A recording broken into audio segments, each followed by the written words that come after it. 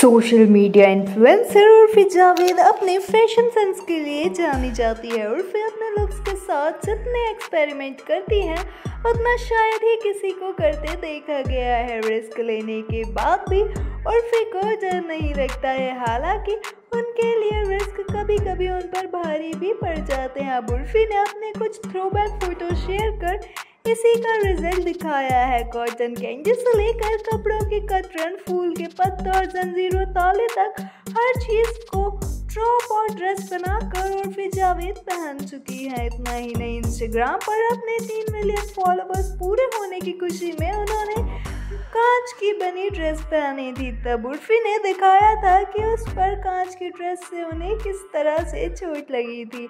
अब उन्होंने नई फ़ोटो शेयर कर बताया कि उन्हें जंजीर का बना टॉप पहनने के बाद उनकी गर्दन का बुरा हाल हो गया। कुछ टाइम पहले उर्फ़ जावेद ने चेन से बना क्रॉप टॉप के स्टाइल में बांधकर पहना था।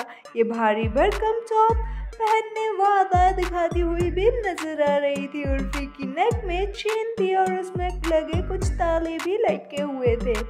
इसके साथ उन्होंने ब्लैक नेटेड स्कर्ट पहनी हुई थी। अब उर्फी ने नई फ़ोटो शेयर कर दिखाया है कि कैसे उनकी गर्दन पर इस वजह से एक बड़ा सा निशान पड़ गया था। फ़ोटो शेयर करते हुए एक्ट्रेस लिखती हैं थ्रो बैक राइट स्वाइप करके देखो आउटफिट पहनने से पहले और उसके बाद मेरा क्या हाल हुआ था? उर्फी के हाल को देखकर उनके फैंस चौंक गए हैं। कई ने इमोजीज के ज़रिए अपनी हैरानी जताई तो वहीं एक यूज़र ने कमेंट किया मैम अपने आप को चोट दे दिया आपने।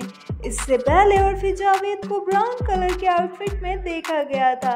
उन्होंने स्टेपलेस क्रॉप टॉप और मिनी स्कर्ट पहनी हुई थी। अपने पैर में छोटे से लिपस्टिक केस को बांधे उर्फी जावेद बारिश में बाहर निकली थी, इस लुक को काफ़ी खिल्ली भी उड़ाया गया था और उर्फी ने एक वीडियो भी शेयर किया था जिसमें उन्होंने कहा था कि वो पर पर जाएँ या नहीं जाएँ, आपको क्या? इस पर यूज़र्स ने उन्हें खूब ट्रोल किया था। वेल आपका उर्फी के फ़ैशन सेंस के बारे में क्या कहना है? हमें कमेंट सेक्शन में ज़रूर बताएँ। वीडियो को लाइक शेयर और चैनल को सब्सक्राइब करें।